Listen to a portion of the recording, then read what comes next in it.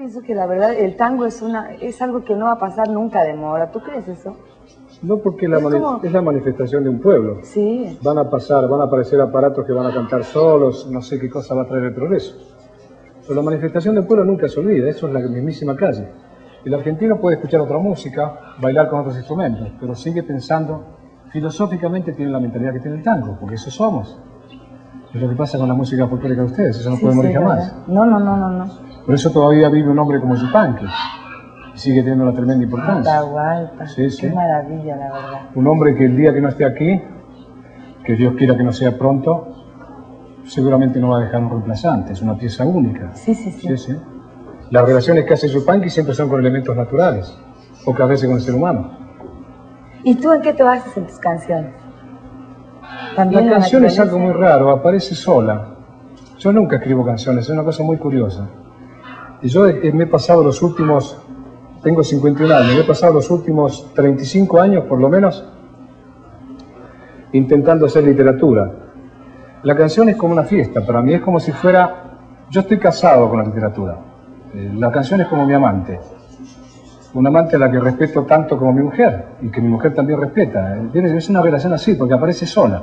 Que además te acompaña siempre. Te acompaña, aparece en un avión, en un viaje el otro día de San Luis a... No, de México a San Luis.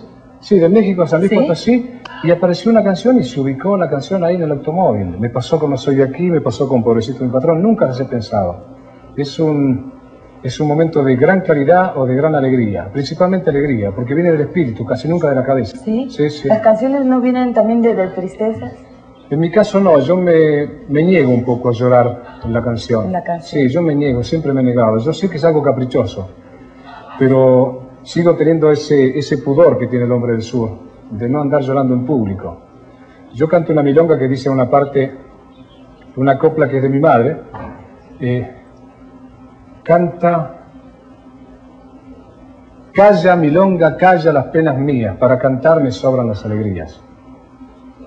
Se supone que yo vengo aquí a compartir con la gente lo mejor que tengo en mi corazón, no mi problema. No mi mis problema es algo que yo debo solucionar en mi vida privada.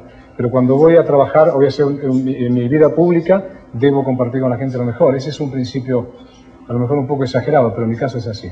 Bueno, pero tu filosofía de la vida, además eres un, eh, un gran paseador, conoces todo el mundo, has viajado por todas partes. Casi, faltan, creo que 17 lo termino. Que te puedo decir, ya lo conozco completo. Pero hasta de pueblitos y cositas así hubo pequeñitas. zonas de caminar pueblo por pueblo. Eh, Yo he hecho giras en México solamente, por decirte, un país amado, que para mí fue una gran puerta para, para muchos países. Una vez hice una gira de 62 ciudades, Verónica, así que fíjate, nunca menos de 25, 26 ciudades, y así ha pasado con todo el mundo. He puesto toda mi vida, he pagado caro, por ejemplo, no tengo una familia. No tener un hijo a esta edad es una cosa bastante grave, pero tuve que elegir y siempre elegí caminar. ¿Y tú no deseas volver en un momento dado a tu país? O sea, ¿se puede decir que eres un ciudadano del mundo? Sí, tengo una vida afectiva, he tenido una vida afectiva muy accidentada.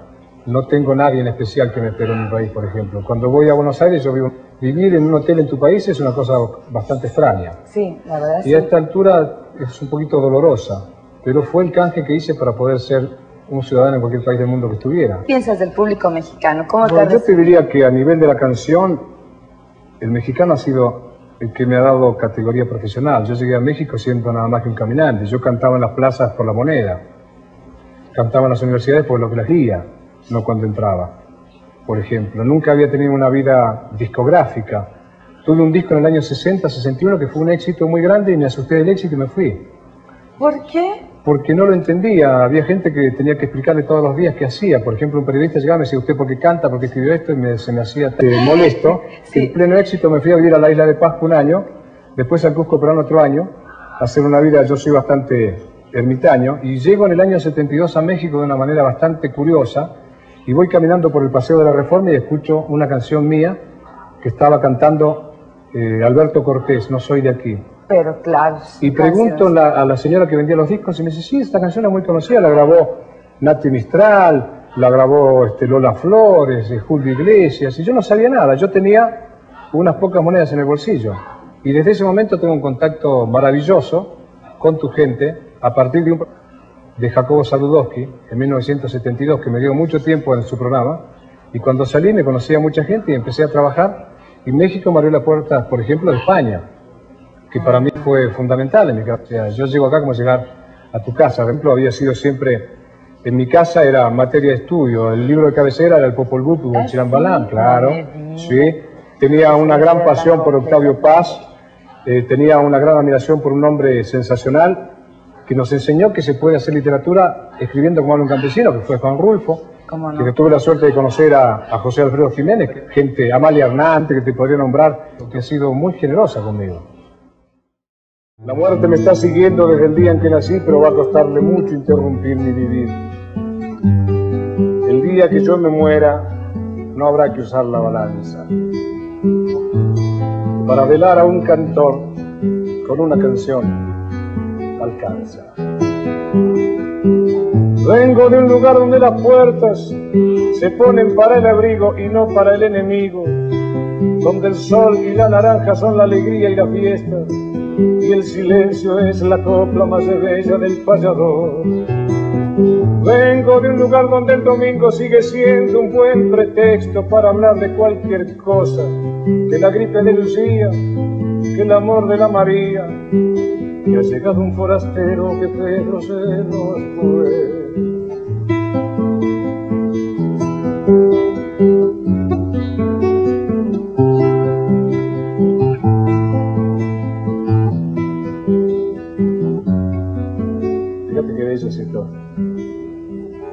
Vengo de un lugar donde no olvidan de cantar los buenos días al primero que se encuentra, donde el verso está en las manos y las manos en la tierra y los ojos en el cielo y en la lluvia la canción. Vengo de un lugar donde mi hermano ya no tiene hambre ni frío, por eso ríe conmigo.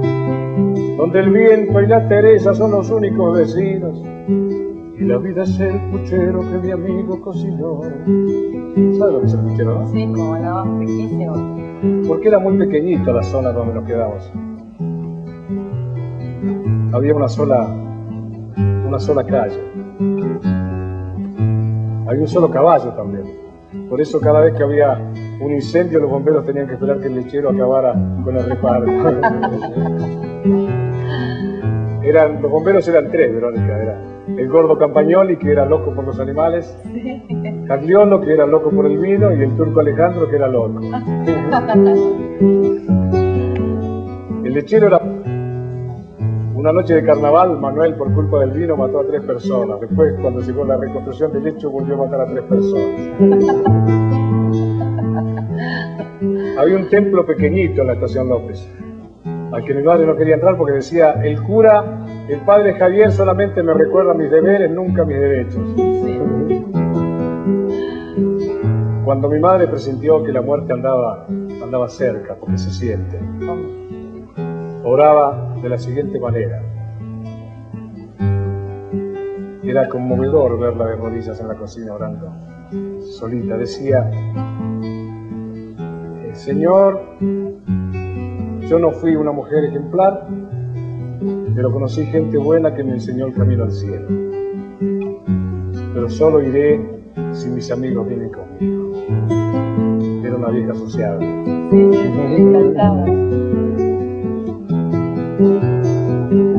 Vengo de un lugar donde no importan los discursos, las promesas, los rencores o las broncas, porque todo el entusiasmo de la gente está en la siembra, o en el hijo que ha llegado o el hermano que partió. Vengo de un lugar agradecido tanto a Dios como a las cosas que tenemos por su gracia, donde canta una milonga cualquiera que tenga ganas y eso solo es suficiente para que lo escuchen bien. Vamos amigo, ya estás ahí. Basta de excusas y sé feliz. Ella decía, nacemos para la felicidad. Fuera de la felicidad son todos pretextos. Es cierto eso. Uno sufre porque quiere. Porque se olvida cuántas cosas hay, hay en la vida. Alguna vez yo perdí a mi mujer y a mi niña recién nacida en un vuelo. Yo pensé que iba a ser insoportable seguir en el mundo. No, lo entendía. No se podía comer, no se podía... No podía meterme debajo de la ducha, no podía hablar con nadie, no podía cantar. Pero por ese dolor tremendo aprendí una cosa maravillosa, la vida es más fuerte que nada, me llevó por delante. De pronto estaba caminando otra vez, hablando con la gente otra vez, cantando otra vez, y esperando cada día que suceda ese milagro que siempre sucede. Y es el amor. Por eso, vamos amigo, ya estás ahí. Basta de excusas y sé feliz.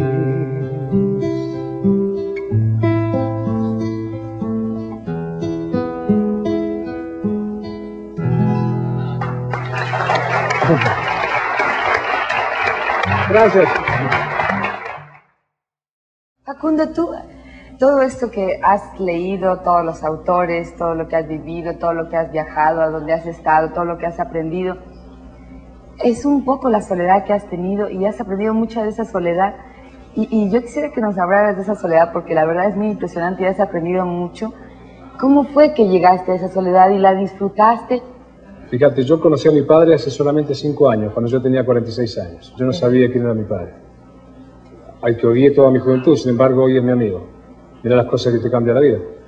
Me quedé solo a los 11 años trabajando en el campo, de pueblo en pueblo, lo que se llama peón golondrina. Golondrina porque se viaja de un lugar a otro según la cosecha. Ajá. Vas del trigo a la papa, de la papa a la uva. Mil, mil trabajos según la época y la, la zona de tu país. Y a los 11 años quedé solo y no sabía qué hacer, no sabía hablar con la gente, no sabía, yo no ¿Falleció supe... tu madre a los 11 años? No, yo salía a buscar dinero porque estábamos muy mal. Hasta los 14 años yo no fui a una escuela a aprender a leer y escribir. Yo no supe leer y escribir hasta una edad que la gente de mi edad ya iba a la escuela secundaria, o no sé cómo le llaman ustedes. Sí, sí, sí. Trabajé, vagué mucho por ahí. Era un hombre violento, un muchacho violento. Era un delincuente. Eh, varios robos, quemé varios negocios, incluso dos escuelas. Sí, ¿Eso por Era un qué? tipo tremendamente... Un estaba- chico tremendo. estaba enojadísimo con la sociedad. Ah, sí. Y hoy lo ves con los muchachos, se compra la moto y sale a romperle la tranquilidad a cualquiera. Pero, ¿Y estabas enojado nada más porque sí o porque te estaba pasando Porque no algo? entendía qué pasaba con la vida, me sentía fuera de este partido. No, no sentía, no me sentía, no, se- no sentía que podía participar.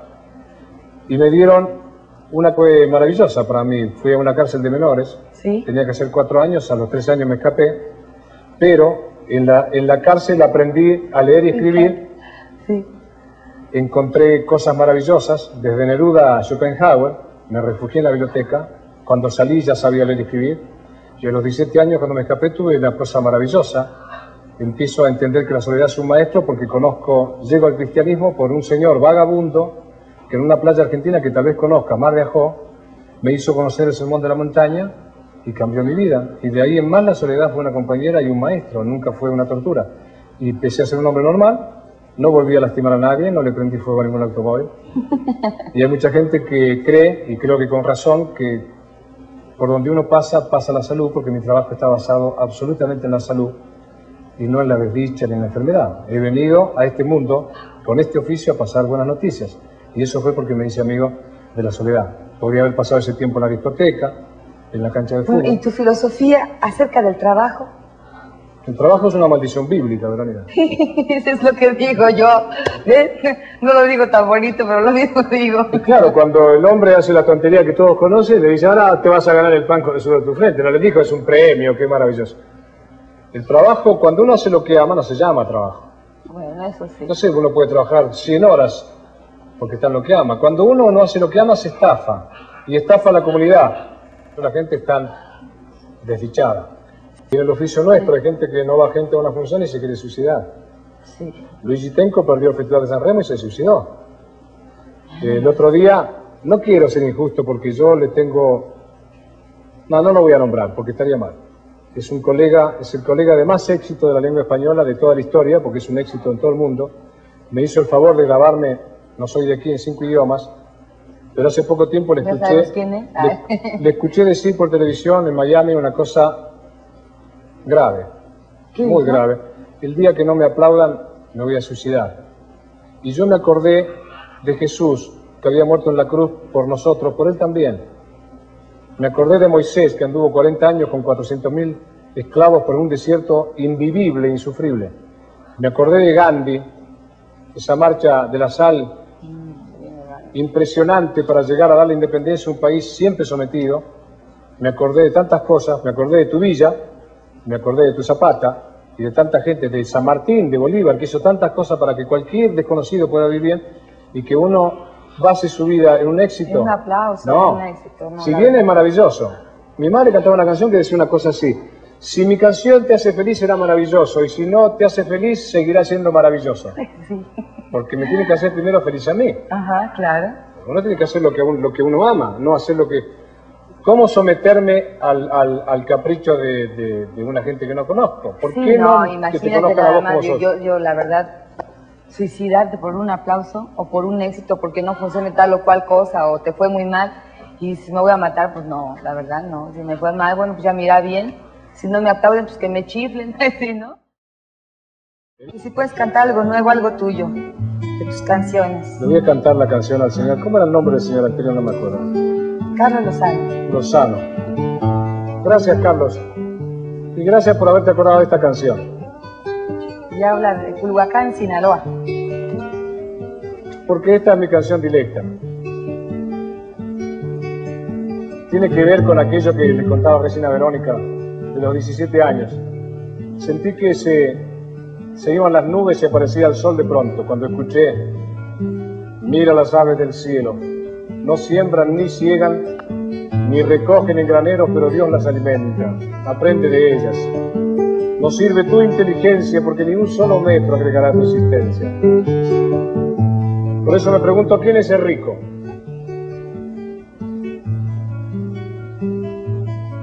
Rico es el que el que tiene más o el que menos necesita. ¿Cuál es el rico? Pero necesita, yo creo.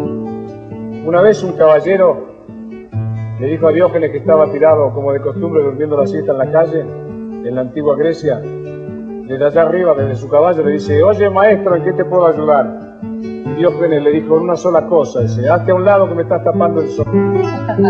Qué bello. ¿Qué precio tiene ese señor? Y con cuántas pequeñas y naturales cosas puede ser feliz cada minuto de su vida. Esta canción tiene que ver con eso. Mano ocupada, mano perdida. Sí, El conquistador, por cuidar lo que conquistó, se transforma en esclavo de su conquista. Entonces, ¿cuál es el más rico?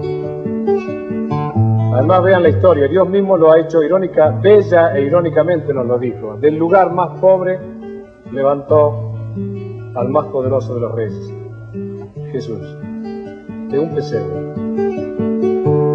Yo no sé quién va más lejos, la montaña o el cangrejo. Fíjate que la montaña es mucho más grande que el cangrejo. Incluso el cangrejo camina hacia atrás, sin embargo el cangrejo se mueve y la montaña no. llegar más lejos. sí. ¿Quién sabe si el apoyarse es mejor que el deslizarse? Hay que pasar por la vida con blandura. ¿Para qué me voy a afirmar? Hay gente en mi país que cuando pierde Gabriela Sabatini cree que perdió el país. Y que en 1986 y 86 pensaron que había ganado la Argentina en el Mundial de Fútbol. Y no esos 11 jugadores que estaban ahí. Esto es hermoso. Sí. Aprende del agua. El agua es humilde y es generosa con cualquiera. No elige, como Dios saca el sol y no importa si le da a Hitler o a Juan el Bautista. Puede ser para Camilo VI el sol, para Juan Gabriel, o puede ser para Vicente Fernández. Es para todos. Para un militar, para un sacerdote, para mí. Pero algunos lo aprovechan mejor, otros Ah, claro. Bien. A unos se les nota la tostada, a otros no, a otros tampoco. Dice, aprende del agua que por humilde toma la forma de lo que la abriga. En el mar es ancha, es eh, angosta y rápida en el río, apretada en la copa. Sin embargo, siendo blanda, orada la piedra dura.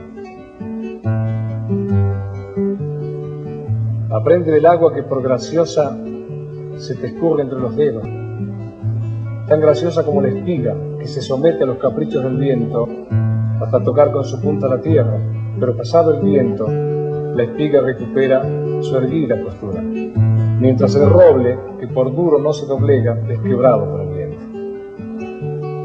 Sé blando como el agua, para que el Señor pueda moverte graciosamente en cumplimiento de tu destino, serás eterno como Él, que solo el que se deja trascender por lo trascendental será trascendente.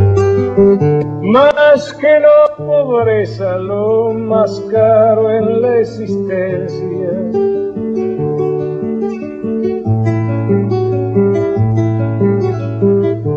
Pobrecito mi patrón, piensa que el pobre soy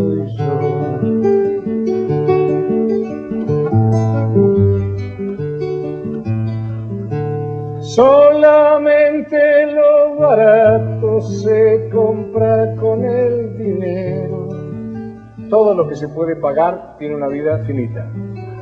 Hasta el mejor automóvil alemán tiene una vida finita. Claro. Lo inevitable y lo esencial es gratis y tiene una vida eterna, por ejemplo, el aire. Además no lo puedes comprar. Lo importante no es el precio, sino el valor de las cosas. Hay cosas que cuestan mucho y que no valen nada. Dominar es su manera y así nadie se libera. Pobrecito mi patrón, piensa que el pobre soy yo.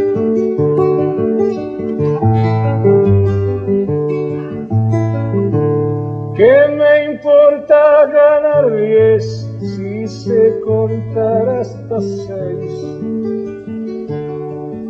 Cada vez que Diógenes pasaba por el mercado porque decía que le causaba mucha gracia y a la vez le hacía muy feliz ver cuántas cosas había en el mercado que él no necesitaba.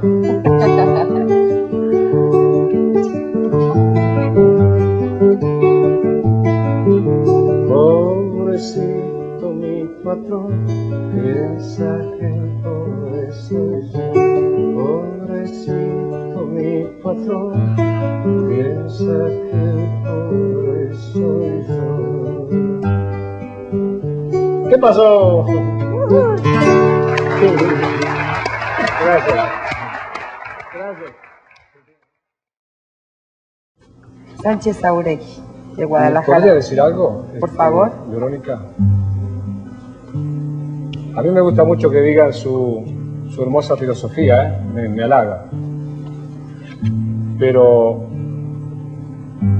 yo soy socio de esa filosofía, señora. Esa filosofía está en la Tierra hace 1988 años.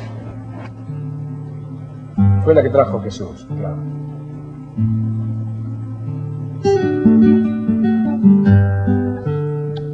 En 1954 nació esta canción, Verónica. Yo no sabía que este iba a ser mi oficio. Acababa de escapar de la, de la cárcel de menores. Estaba mal, no sabía qué hacer, no sabía tratar con la gente. De pronto conozco el sermón. Me emocionó tanto que nació esta canción esa noche, sin saber que iba a ser mi oficio. Es una canción de cuna, para vuestros hijos, que a lo mejor sí se animan a la bendita semejanza y no a ser solamente consumidores o empleados de lo que odian, ¿no?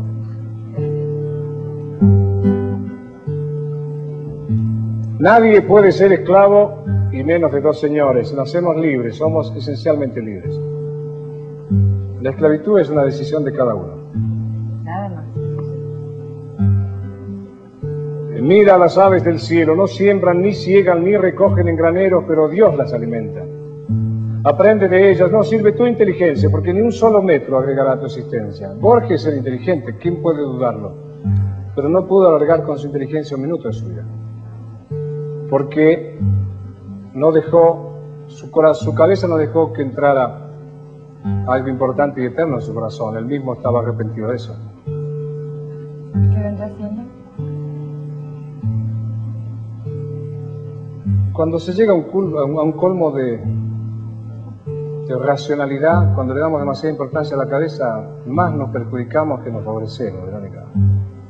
Hace memoria ¿Cuántos intelectuales conocés que sean felices? No, bien pocos. Claro, que son bien poquitos. Eso lo decía Borges, por eso escribió un poema que decía, he cometido el peor de los pecados, no fui feliz. Es terrible escribir eso a los 75 años. Hablábamos mucho de esto con él. Él me decía, cuénteme de su Dios. A él le gustaba saber qué pasaba conmigo y me decía, ¿cómo llega su vida? Yo solo me entregué, maestro. No lo fui a buscar, él está ahí. Cuando uno se afloja y abre la puerta, llega solo pasó algo maravilloso. Yo no sé si hago bien en contar esto ahora. Tal vez sea una imprudencia mía contarlo. Yo soy imprudente, pero vaya como demostración de lo que quiero a tu gente y lo que te quiero y te respeto. Y en agradecimiento a esta oportunidad maravillosa para mí. Pero les voy a contar un secreto. Un día antes de morir en Ginebra, Borges pidió un sacerdote. Se confesó y tomó la comunión. Murió. Un día antes, a los 85 años. Fíjate la fuerza impresionante de la verdad. Decía Jesús que no interesan los trapos, mira los lirios del campo cómo crecen sin trabajar ni tejer, pero Dios igual los viste. Mira eso. Ni siquiera Salomón, con los colores de aquel bello animal, no hizo nada para esos colores, se lo han dado. Si a él que es un animal, se le da lo que se le da, ¿qué no se nos, da, no se nos daría a nosotros que estamos hechos a semejanza del Padre? Por eso ya, no te preocupes pensando qué es lo que vas a comer, con qué te vas a vestir, que por cosas tan pequeñas el hombre se hace infeliz. Porque el Señor sabe bien qué necesita tu piel, anda con Él. Buscar a Dios es encontrarse con uno, no es escaparse de uno, es encontrarse con uno. Si tienes fe, moverás al mundo. Recuerden a Gandhi, el mañana no interesa. Él traerá nueva experiencia, porque a cada día le basta con su propio afán. Si yo estoy añorando lo que fue, estoy en el pasado, no vivo el presente, que es lo único que hay. Si estoy planeando, estoy en el futuro, no vivo en el presente, que es todo lo que hay. Por eso él decía, el mañana no interesa, él traerá nueva experiencia. Que traiga la vida lo que quiera mañana. No tengo que anotar un plan en una agenda, no tengo que hacer una cita, va a llegar solo, llega puntualmente. El amor y la muerte también, que es nada más que un cambio de estadio, porque no existe la muerte. Lo decide él. Él es el patrón. Él es el mero mero. Por eso nació esto. No crezca mi niño, no crezca jamás. Los grandes al mundo le hacen mucho mal. El hombre ambiciona cada día más y pierde el camino por querer volar. Huele bajo porque abajo está la verdad. Esto es algo que los hombres no aprenden jamás.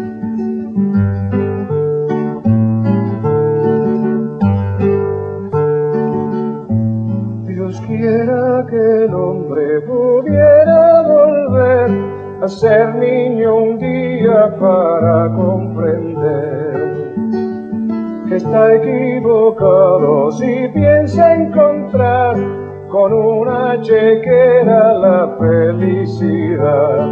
Huele bajo porque abajo está la verdad.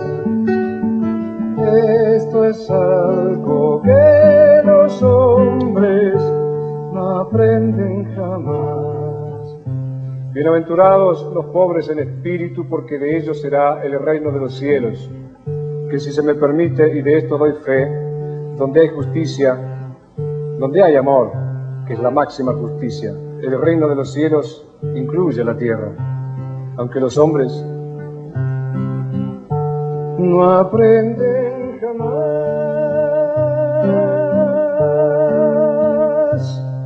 Chihuahua. ¡Ay, Chihuahua! Que Yo regalo. le, le quería mandar, este, yo no lo conozco a Vicente. Anoche gocé cuatro horas con ustedes, Sí, y sí. plenamente. Ay, es que es maravilloso, la verdad. Quería mandarle un saludo. Es maravilloso tener el privilegio de que todo un pueblo, y un pueblo tan amoroso como este, lo ame a uno, ¿no? Anoche vi realmente un representante de un pueblo. Me emocionó mucho. Y me emocionó mucho también cuando pasaron esa película donde él canta con su, con su hijo pequeñito. Eh, Dios te bendiga, Vicente Fernández. ¿eh? Es un, un orgullo para los que estamos en este oficio, llegar a tanta gente. Me gusta el sol, Alicia y las palomas, el buen cigarro y la guitarra española. Saltar paredes y abrir las ventanas y cuando llora una mujer. Me gusta el vino tanto como las flores y los conejos y los viejos pastores, el pan casero y la voz de Dolores y el mar mojando de los pies. No soy de aquí ni soy de allá, no tengo edad ni porvenir y ser feliz es mi color de identidad.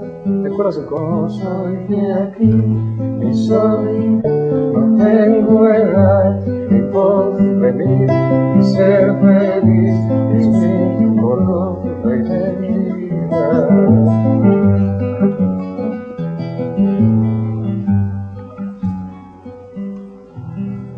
Gusta estar tirado siempre en la arena o en bicicleta perseguida Manuela.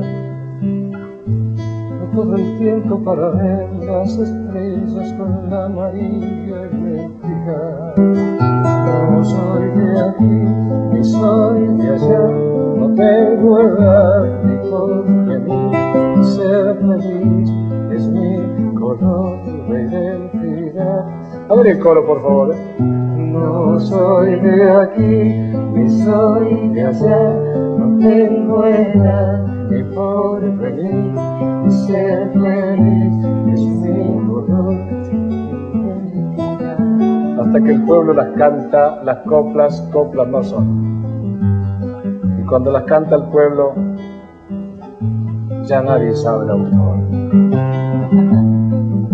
Procura tú que tus coplas vayan al pueblo a parar, que al volcar el corazón en el alma popular, lo que se pierde de gloria se gana de eternidad.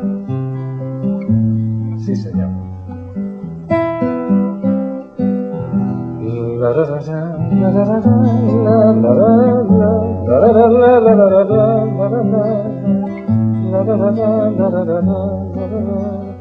Por tu bello mundo, gracias Señor.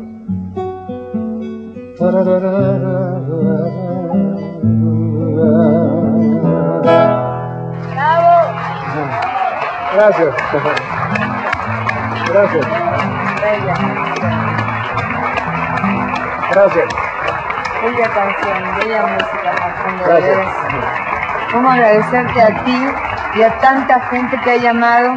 Yo, la verdad, estoy, yo estuve muy a gusto, platiqué como si de veras estuviera en mi casa, dijiste cosas muy importantes, muy bellas, y creo que el público en México a esta hora te captó perfectamente lo que querías decir, porque cada llamada de cada uno de ustedes ha sido un poema. La verdad, no hubo ni siquiera una llamada indiscreta. Siempre pasamos una llamada indiscreta, ahora no hubo. ¿O sí sentiste alguna indiscreción? No, para nada. No, para nada. Fíjate nada más, qué increíble, de verdad. No hubo llamada indiscreta. Se portaron re bien ustedes el día de hoy, qué bárbaros. Publicazo. Un aplauso para el público que tuvimos esta noche. Facundo, gracias. A. Muchas gracias por tu música, por tus A canciones, por tus conceptos, por estar esta noche con nosotros y habernos dado este gusto maravilloso de poder disfrutarte. Para mí también, ¿eh? Que Dios los bendiga, como hasta ahora. Igualmente. Ha sido un gusto muy grande y también compartir un programa como este, donde entonces todavía escuchaba gente tan maravillosa y que representa tanto a tu gente. Gracias. Muchas gracias. Muchas gracias. Mucha suerte.